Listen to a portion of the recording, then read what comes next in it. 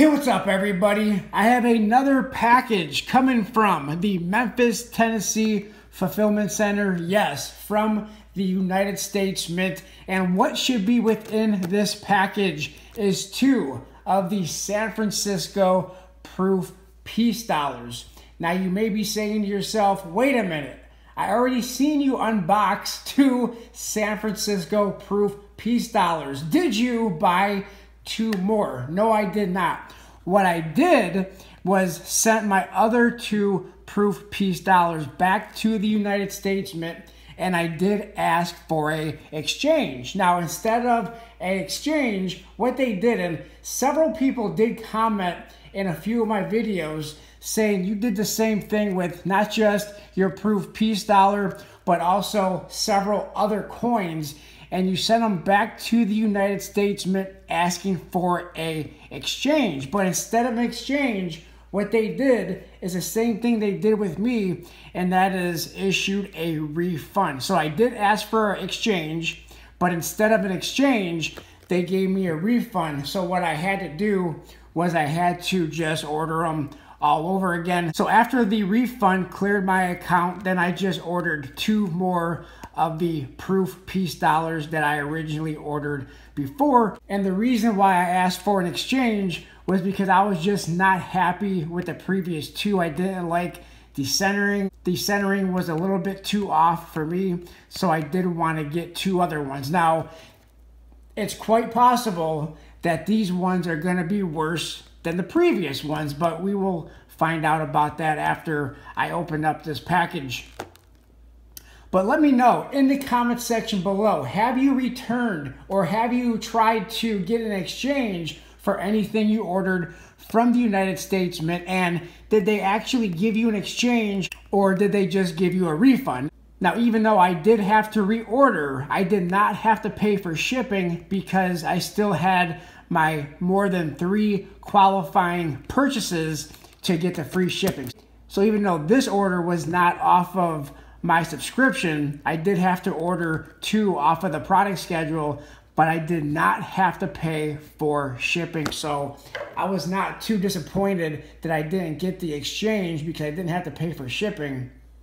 But it's kind of odd to me, in my opinion, that when a lot of people do ask for an exchange, they're issuing a refund versus just giving the exchange that people are asking for. But anyway, let's go ahead and open up this package and we are going to see how these coins look. And I'm hoping that they're slightly better than the previous ones, but I am taking that risk that they're going to be worse than the previous coins that I originally had. So here is the first peace dollar San Francisco. Now, a couple people did point out, and I do wish that these boxes even though we are still getting the cheaper black boxes.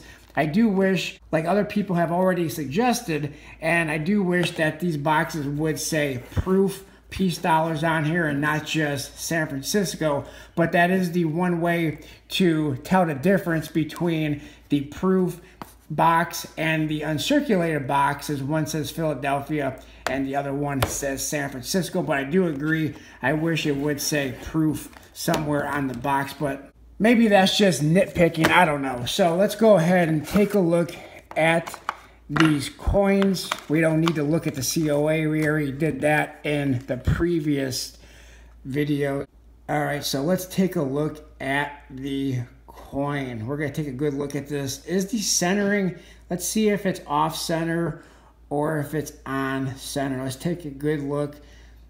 This one looks to be a little bit better than my previous coin. Right, sorry about that. I wanted to grab a pair of gloves because my the heat from my hands was fogging up and spotting up the capsule and I didn't want spots on the capsule to be confused with spots on the coin. But looking at this coin, in my opinion, this looks much better than the previous coin that I sent back to the United States Mint. Um, the centering is a little bit off, but I don't think it's off as much as it was on my prior coin. But I will look at these, of course, better off camera than I am looking at it right now on camera.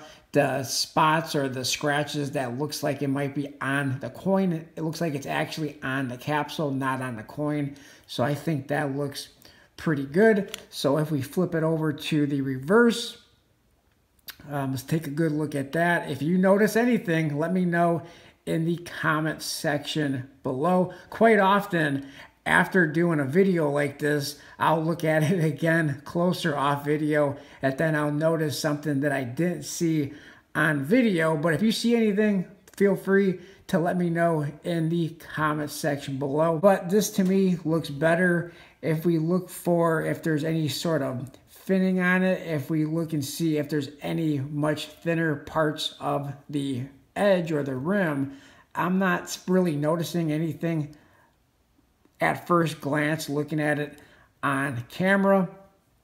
Um, if we go around, I'm not really seeing any parts of this rim that's getting much thinner. So this one, I think, looks pretty good. But let me know what your thoughts are in that comment section below. All right, let's go ahead and open up the second one. I gotta need to take my glove off so I can get this box open.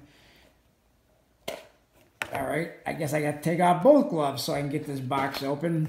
So now I did notice that when I opened this one up, this was already kind of sort of popped out of this box, but not gonna sweat that too much.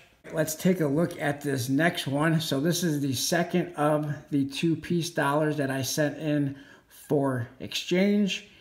And this one is looking pretty good so far. I'm not seeing any noticeable problems, scratches, or dings on the fields. And if we look at the centering, I'm going to be able to take a better look at this off camera. All right, so I wanted to take the actual capsule off of this coin because I was noticing that there was, and I'm going to try to be very careful with this now that I don't have this capsule. I have the bottom part of the capsule on, but just not the top part. And I wanted to make sure that all the little scratches that I was seeing was actually on the capsule and not on the coin. And most of them was on the capsule, but it does look like that there is some, if you look uh, throughout the coin, through the reverse of the coin, over the reverse of the coin, you will see that there is a little few scratches. I don't want to point at them because the capsule, again, is taken apart and I don't want to you know, put, even though I have a glove on, I don't want to touch any part of the surface of the coin or else you could create more problems than this coin already has. But there is some little scratches on it. Disappointing. I am going to keep this one. I'm not going to send this one back. But it is disappointing that there is some of these minor flaws, but yet it does have some of these scratches. I don't know if you can see them. Unfortunately, there is some scratches, some dings all over the reverse of this coin as well. Very disappointed to see these that are actually on the coin. Okay, so I'm gonna put the capsule back together. So disappointed to see all those little scratches. I think the obverse of this coin looks pretty clean. I'm not seeing many problems. It does look like this one as well is a little bit off center. I'm not seeing any major finning on this coin, but let me know what your thoughts are in that comment section below. Please don't forget to hit that like button on the video.